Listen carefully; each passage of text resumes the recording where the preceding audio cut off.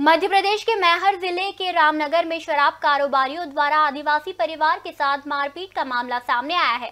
घटना का video viral होने के बाद ज़िले के प्रभारी मंत्री राधा सिंह ने मामले का संज्ञान लेते हुए अधिकारियों को कार्यवाही के निर्देश दिए। ग्राम हरदुआ कोठार में गुंडागर्दी का एक मामला सामने आया है। यहाँ शराब ठेकेदार के गुर्गे आबकारी अधिकारी एक आदिवासी परिवार में घुस गए, जहाँ इन्होंने परिवार के युवकों और महिलाओं के साथ मारपीट की साथ ही महिलाओं के साथ छेड़छाड़ की और घिनौनी हरकतें भी की।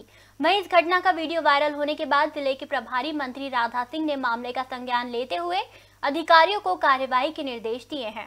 ग्राम थाना राम नगर अंतर्गत आता है।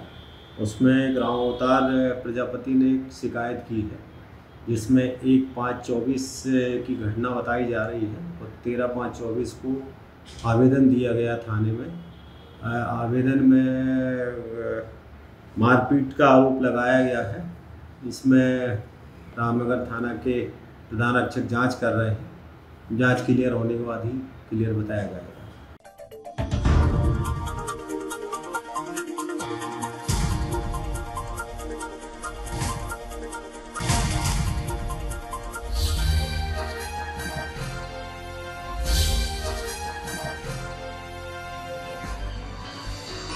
आप देख रहे हैं दखल न्यूज़